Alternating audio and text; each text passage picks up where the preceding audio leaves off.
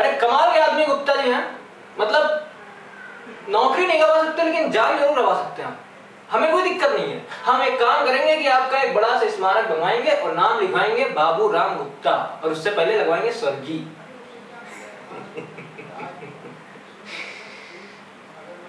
मुद्दे पे आते गुप्ता जी।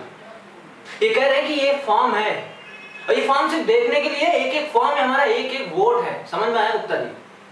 और कसम से कह रहे हैं, अगर एक भी रिजेक्ट हो गया ना तो आप ज़िंदगी से रिजेक्ट और माँ कसम उनको कोई रोक भी नहीं पाएगा।